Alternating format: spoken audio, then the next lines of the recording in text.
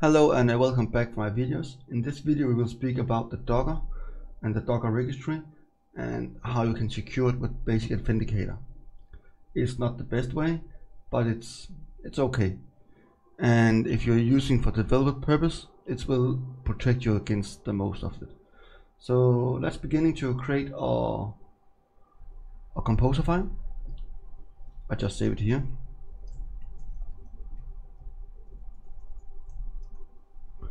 And then we need to type the service the version sorry. And we use 3.7 and then we need the service. Basic authenticator is the service name. And we need to build based on authenticator folder. And the ports is still port 5000 if you have followed the previous videos I've built then you know port 5000 is the registry port but you can of course change this port if you want.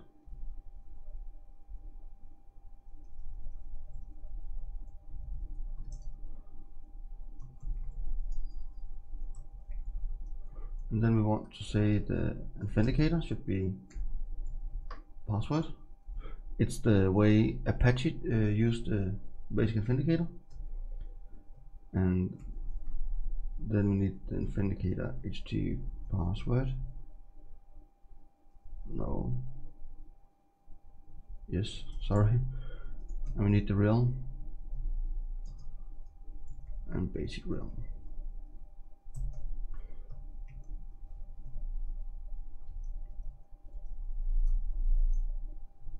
And the path of this file should be authenticator here it is and now we can create a new folder called authenticator. And inside this we want the docker file. And here we want to create the docker file. So what we want here is the whoops from registry. Run mkdir we need to create the authenticator folder and then we want to ask for the password. BNP you can use the manual to to see what uh, what is mean but it's just meaning we need a username and password and we pull it to this file. And that's it. Let's going for the terminal and spin it up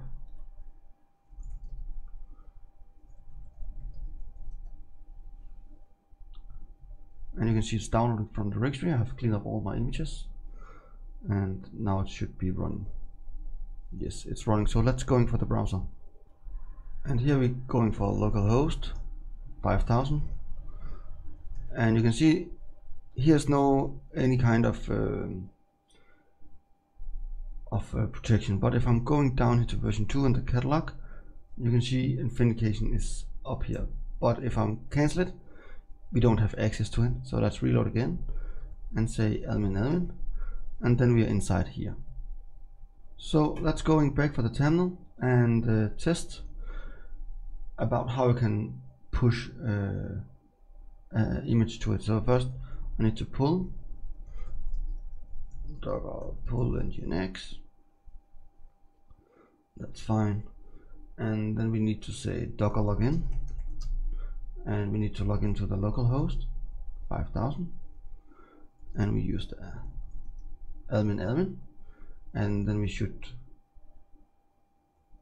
of course we need to say docker tag uh, nginx localhost 5000 nginx then docker push localhost nginx and then it should be here.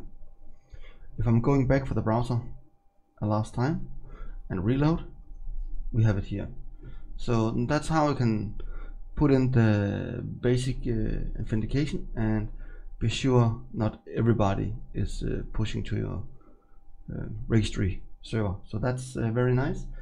And of course it's not very unsecure but I would recommend to use some kind of token or something like that but it's very good for basic using and yeah, that's all for now. Uh, I hope you want to subscribe my channel in the right corner below if you don't know that. And if you have any questions, please make them in the comment fields below. I'll try to answer them as fast as possible. And of course, I'll be very happy if you add it to your playlist and hit a like button. And as always, you can find this code on my GitHub profile. The link is down is below in the uh, description. And then you can follow me on GitHub or you can do whatever you want. Thank you so much and see you next time. Bye bye.